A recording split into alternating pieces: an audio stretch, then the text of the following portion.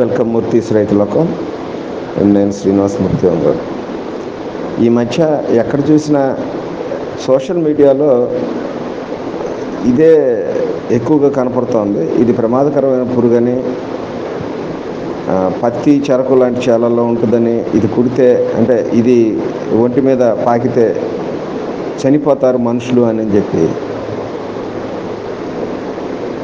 పంటలు దెబ్బతినకూడదు రైతులు భయభ్రాంతులయ్యి ఆ పంటలు వేయకుండా ఉండకూడదు అనేటువంటి ఒక దురుద్దేశంతో కూడా ఇది చేసి ఉండొచ్చు ఎవరైనా.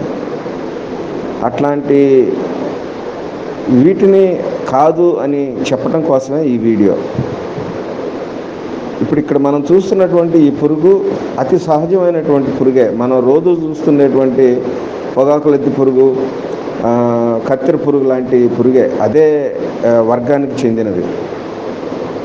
అంటే ఇక్కడ శాస్త్రీయంగా చెప్పుకోవాలంటే దీన్ని లిమాడిడే అనే కుటుంబానికి చెందినటువంటి కల్కారిఫెరా ఆడినాట అనేటువంటి శాస్త్రీయ నామంతో ఉన్నటువంటి లెప్డోప్టెరన్ క్యాటర్ పిల్లర్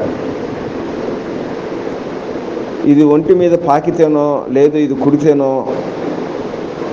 మనుషులు చనిపోరు. మనుషులే కదా ఆఖరికి అతి అల్ప ప్రాణులైనటువంటి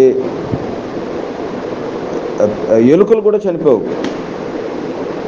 మహా అయితే మన మనుషుల మీద పాకినప్పుడు ఈ పురుగు అట్టికేరియా అంటే దద్దుర్లు లాంటివి జిల లాంటివి రావచ్చు. ఖచ్చితంగా వస్తాయని చెప్పలేను అది కూడా. ఎలర్జీ వల్ల. ఎలర్జెన్స్ రిలీజ్ అవుతాయి కాబట్టి. అంతకు మించి భయప్రాంతులు కావాల్సినటువంటి పని లేదు. ఇది సహజమైనటువంటి అతి సహజమైనటువంటి గొంగళి పురుగు. అయితే కొన్ని పంటల్లోనే ఇది ఎక్కువగా ఉంటుంది. ముఖ్యంగా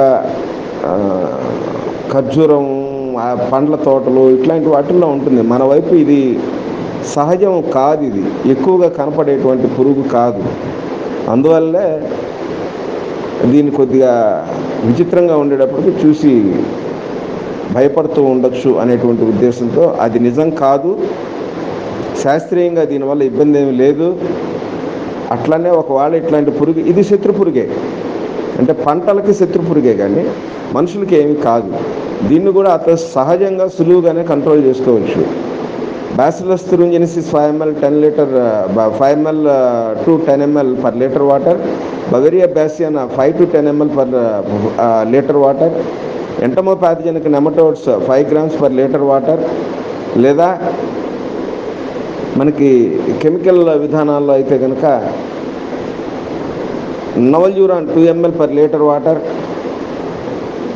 Coragen chlorantraniliprole point five ML per litre water emamectin benzoate point seven grams per litre water. ఇట్లాంటి లేదు ఇంకా చౌకలో అంటే కనుక మనకి lambda cyhalothrin two point five ML per litre water ఇట్లాంటి వాటితో చాలా సులువుగా వీటిని కంట్రోల్ చేసుకోవచ్చు.